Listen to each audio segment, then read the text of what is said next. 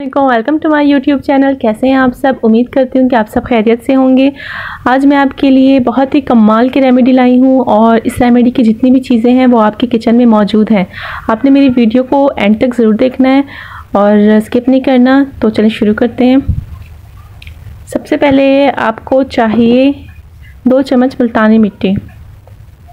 आपने दो चम्मच मुल्तानी मिट्टी लेनी है सबसे पहले और आपने लेना है आपने एक टमाटर लेना है और उसका पेस्ट बना लेना है। फिर आपने एक आलू लेना है, आपने उसका भी पेस्ट बना लेना है और एक चम्मच आपने दही लेनी है, ठीक है? आपने एक चम्मच दही लेनी है। तो आपने एक चम्मच इसका लेना है, एक चम्मच टमाटर के रस का लेना है और एक चम्मच दही का लेना है और इसे मुल्तानी मिट्टी में ऐड कर देना है। मैं आपको बताती हूँ कि आपने किस तरह से इसे यूज़ करना है। सबसे पहले तो सबसे पहले आपने लेने ले लेना है आलू का। एक चम्मच आपने इसमें ऐड कर देना है पेस्ट का। एक ही चम्मच आपने टमाटर के रस का इसमें मिक्स कर देना है और एक चम्मच आपने दही का लेना है और इसमें मिक्स कर देना है, ठीक है? इसका आपने पेस्ट बना लेना है। अच्छे से। और अगर आपको लगे कि अगर आपको लगे कि जो है इसमें कम है पेस्ट तो आपने तो आपने इसमें थोड़ा सा और मिक्स कर देना है। टमाटो जूस ठीक है? आपने इसमें टमाटो जूस और मिक्स कर देना है। फिर मैं आपको बताती हूँ कि इसका पेस्ट रेडी करना है आपने। ये आपकी जो है स्किन को सॉफ्ट स्मूथ और ग्लोइंग कर देगा इंस्टेंट रिज़ल्ट देगा आपको। आप हैरान रह जाएँगे इसके फ़ायदे देकर कमाल की रेमेडी है। आप अगर कहीं बाहर जाएँ तो आप इसे ज़रूर अप्लाई करें जाने से पहले। ये आपको सेम उपटन जैसा इफ़ेक्ट देगा। ये देखिए, आप देख रहे हैं। इतना स्मूथी टेक्सचर बन गया है इसका।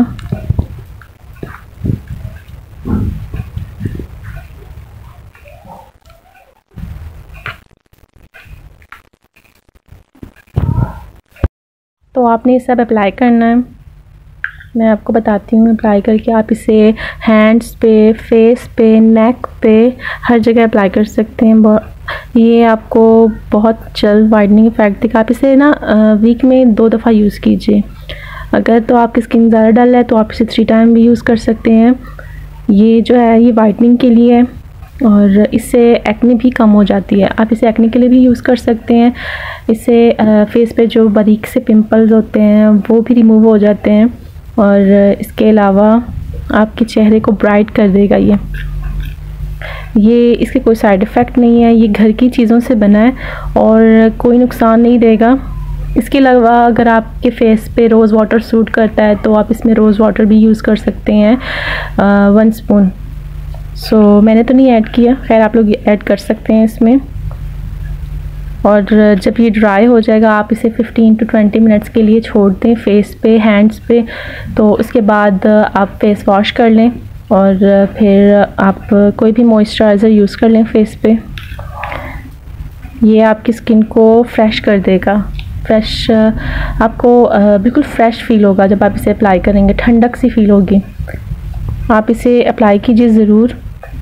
आपको पता है कि जो बाहर के केमिकल से बनी क्रीमें होती हैं वो स्किन को नुकसान पहुँचा देती हैं। लेकिन जो घर की बनी हुई रेमेडीज़ होती हैं वो स्किन को आ, कोई भी नुकसान नहीं पहुंचाती और उसके फ़ायदे होते हैं बेशुमार।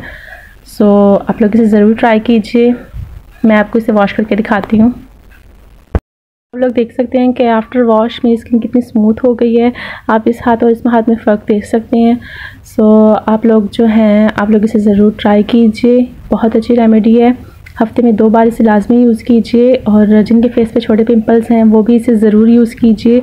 उनका फेस इससे बिल्कुल क्लीन हो जाएगा। सो so, अगर आपको मेरी वीडियो पसंद आई हो तो इसे लाइक कीजिए सब्सक्राइब कीजिए और दुआओं में याद रखिए। तब तक के लिए अल्लाह हाफ़